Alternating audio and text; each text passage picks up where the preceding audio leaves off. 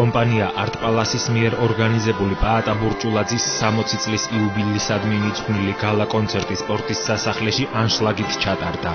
კონცერტს საქართველოს პრემიერ-მინისტრი ირაკლი ღარიბაშვილი და საქართველოს კათოლიკოს პატრიარქი ილია მეორე დაესწრნენ.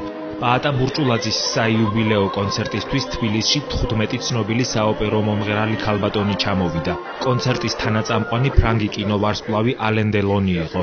კონცერტზე ერთდროულად ორი სიმფონიური ორკესტრი უკრავდა.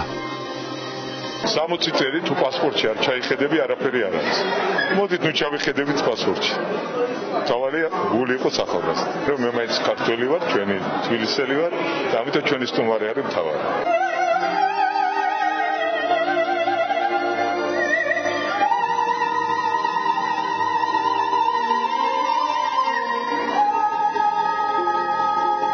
ვფიქრობ ჩვენ მოვახსენეთ სასაული. ამაში იყო ჩართული მთელი სახელმწიფო ინდუსტრია არტყალასი და ჩვენს მეგობრებთან ერთად ძალიან ბევრი მეგობართან ერთად ვინც დაგვეხმარა ჩვენ ყველამ ერთად შევძელით ამ სასაულის მოხდენა. ვფიქრობ ყველა დამეთანხმება რომ საღამო იყო აბსოლუტურად დაუვიწყარი და მსგავსი საქართველოს შეჯიბრებით არაფერი ჩატარებულა და მე ვისურვებდი რომ ძალიან ბევრჯერ ხშირად იყოს აი მასშტაბის აქციები საქართველოში.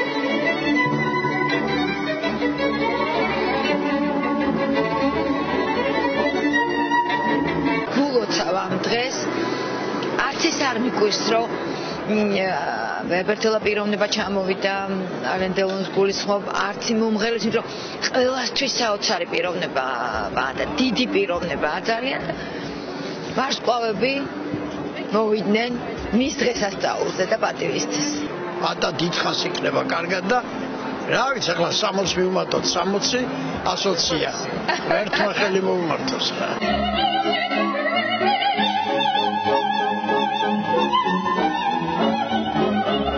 რასაც პაატაკეთებს დღეს სიმღერის გარდა.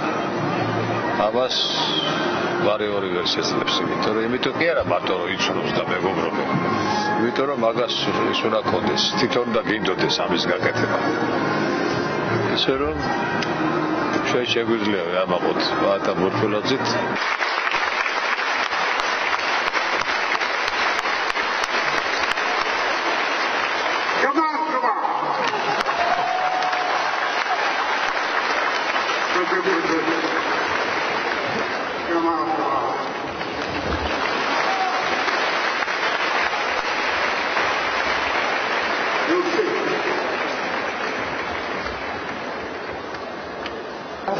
ალენძელონი არის ძალიან ისეთი ვიტყოდი თბილი, ზომიერად გულია, ანუ გულია როგორ ჟურნალისტების მიმართ, რომ თქვენ კარგად გიცნობთ ალბათ წლების მანძილზე და ალბათ გადაღების არის ყურადღებისგან. თუმცა უნდა ვთქვა, რომ ახთოვანებულია საქართველოსი და როგორც უნდა აღინიშნა, განიცდიდა რომ საქართველოს აქამდე ვერ გაიწო, რომ მას თუმე ამდენი ხანი ყოლა. მე მაინც ვფიქრობ, რომ მას გული წდება, რომ ამდენი ლამაზი ხალი ნახა ერთად და ეხლა უკვე აღარ არის იმას აქში, რომ მოკლედ ისე სიყვარულის რაიგად მოევლინოს ქართულ მადლობას.